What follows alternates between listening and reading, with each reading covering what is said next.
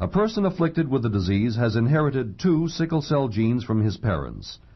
This realization that the two genes manufacture the abnormal hemoglobin set the stage for Dr. Pauling's entry into the field of molecular medicine. Well, when uh, Doctors Itano, Singer, and Wells and I published our paper in 1949, we gave it the title uh, Sickle Cell Anemia, a Molecular Disease.